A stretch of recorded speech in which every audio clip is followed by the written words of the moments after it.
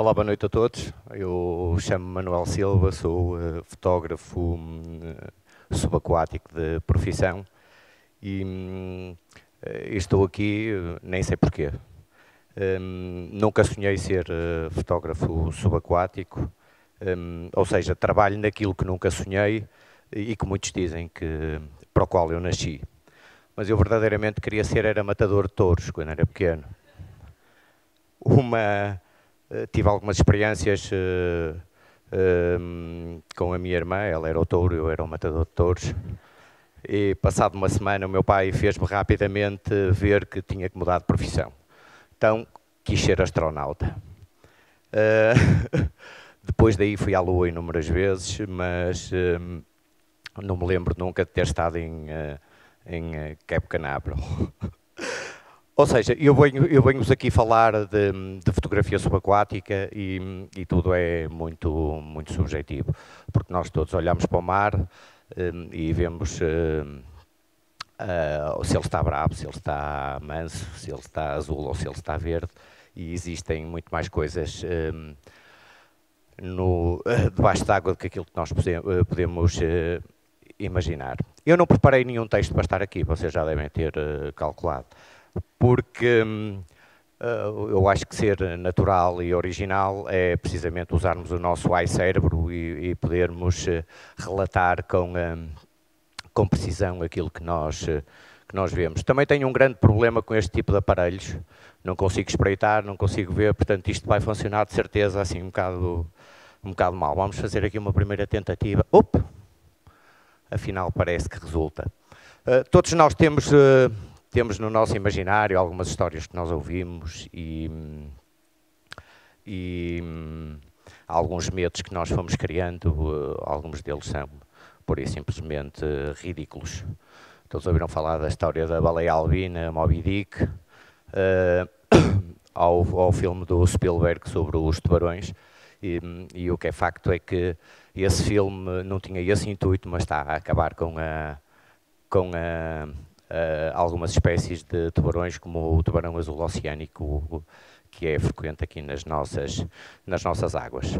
Um, eu trouxe-vos esta primeira imagem que eu vos estou a apresentar, é uma imagem feita um, a filme, ou seja, no processo analógico. Eu sou fotógrafo há cerca de 20 anos. Um, curiosamente ofereceram-me uma, uma máquina fotográfica e eu uh, eu adorei, eu gostei. Deixei-a três anos parada dentro da caixa, estava impecável quando eu decidi pegar nela. o que se passa uh, com esta história, tudo começa por, uh, por, um, por um curso de mergulho, pela, depois tem a ver com a nossa personalidade e com as nossas características, de querermos trazer um pouco daquilo que nós vemos para, para os outros. Um, eu, eu mal tirei o meu curso de mergulho, como sabem, eu, a imagem não fazia parte da minha vida. Um, comprei uma máquina daquelas pequeninas, uh, descartáveis, por acaso era da Fuji, não é patrocinador, mas, pode vir a ser, não é? Uh, e comprei uma, uma caixa estanque, introduzi lá a máquina e antes de ter batido com ela no casco do barco, no Mar Vermelho, aquilo até tirou umas fotografias boas.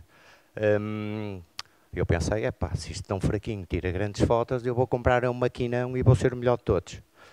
Isso de facto aconteceu, eu comprei um maquinão. O ser o melhor de todos é que não, é que não aconteceu, até porque eh, não conseguia sensibilizar o filme, porque eu não sabia nada de fotografia. Então, como nessa altura a internet também não era, não era uma coisa para, acessível a qualquer um, e também a velocidade daquilo era de tal ordem rápida que mais valia irmos perguntar diretamente à pessoa, portanto, obtínhamos a resposta mais rápido. Hum, comecei por comprar revistas e, e cortar alguns artigos onde tinham indicações técnicas e então foi por aí que eu, me, que eu comecei a aprender algo sobre a fotografia. Ou seja, consegui sensibilizar alguma coisa, embora não percebesse muito bem porque é que aquilo lá ficava. Acabei por, hum, por ao longo dos anos ter estudado um, fotografia e mais concretamente este tipo de fotografia uh, que é a fotografia submarina. Uh, estas imagens todas que vos vou mostrar aqui são imagens das nossas águas. Espero, espero que vos sirva para, um, ou que sirva para vos sensibilizar e para que vocês próprios também possam passar uma, uma mensagem de proteção uh, dos oceanos porque hum, se nós vemos, temos de nos lembrar que os nossos filhos também têm direito a ver e os nossos netos e bisnetos e as gerações vindouras também terão uh, o mesmo direito que nós a contemplar a beleza dos oceanos. Para se efetuar este tipo de imagens, obviamente estamos num país burocrático, é Portugal, um, é preciso uma, uma autorização especial para, para se conseguir um, estar a trabalhar com estes animais. Uh, a eliminação artificial é extremamente proibida e não se pode utilizar ou, ou um, uh, não se pode usar escafandro autónomo na captura destas imagens. Um, estas imagens têm uma particularidade, foram um, uh, efetuadas ao largo do, do salão, que, é, que fica entre, no, entre a Ilha do Faial e a Ilha do Pico. Um, foram imagens que me deram uh, grande prazer. Certamente que se calhar agora na atualidade eu teria uma, uma habilidade uma capacidade e meios muito mais eficazes para uh, conseguir um, produzir imagens com mais qualidade. No entanto, tem sempre que se lembrar que quem trabalha com animais selvagens está sujeito à sua própria atitude, à sua personalidade e ou quererem ou não serem incomodados. Isto é, é um cachalote, Physeter macrocéfalos, um, apresento os senhores e senhores a Moby Dick dos Açores. Este, eu tive o prazer de, de contemplar estes animais uh, por umas largas horas. Um, curiosamente, um ou dois meses antes, tive uma semana no mar e não consegui efetuar uma única, uma única fotografia. Obviamente que quando se fala numa semana no mar, fala-se de um investimento muito grande, um, cerca dos mil euros por dia. Um,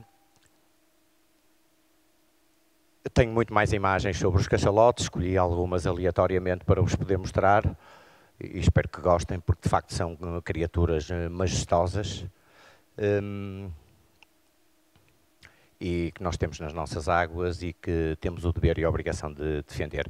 Felizmente que a caça à baleia já já acabou faz anos.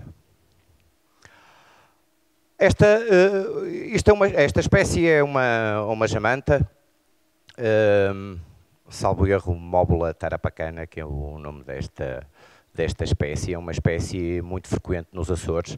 Esta imagem foi realizada na ilha de Santa Maria e tem uma particularidade. Existe um local uh, denominado Ambrósio em Santa Maria, eh, onde todos os anos, eh, durante largos períodos do ano, é possível mergulhar com um grupo ehm, grande de jamantas. Isto é um dia de sorte, as boas imagens ou os bons fotógrafos, como qualquer outra, como os músicos, passem sorte, eh, podem partir cordas, podem partir cabos e essas coisas todas. Um, é no, no meio do oceano, num, uh, num sítio majestoso. Estes animais são incríveis, chegam a ter 4 eh, metros de envergadura e provocam, eh, como devem calcular, eh, momentos brutais de adrenalina e hum, no qual eu me sinto um privilegiado por, por, poder, por poder assistir. Uh, obviamente que vocês olham para estas imagens e, e, alguns podem gostar, outros podem não gostar, os gostos são relativos, mas todas elas em termos de técnica tiveram, uh, têm uma, ou seja, todas elas têm uma componente técnica hum, bastante avançada. A partir de determinado estádio na, da nossa vida profissional, nós temos a obrigação de tentar mostrar aos outros aquilo que nós criamos anteriormente na nossa, da nossa cabeça. Obviamente com animais selvagens as coisas são extremamente mais difíceis, mas eh, não quer dizer que sejam uh, impossíveis de fazer. Aliás, eu costumo dizer que se é possível, não vai ser para mim, de certeza absoluta. Isto também é um grupo de, de jamantas. Todas estas imagens que vos estou a mostrar são imagens que são feitas, um, um, portanto, sem, sem estarem em competição. Eu pratico dois tipos de fotografia. A fotografia subaquática lúdica, uh, onde eu uh, uh, limito-me a publicar ou a vender as imagens, e a fotografia subaquática de competição. este Acabei de saber ontem que foi uh, nomeado atleta do ano pela Federação Portuguesa de Atividades Subaquáticas. Vejam lá, pá, com 45 anos, atleta do ano. Sabem porquê que, porquê que isso pode acontecer?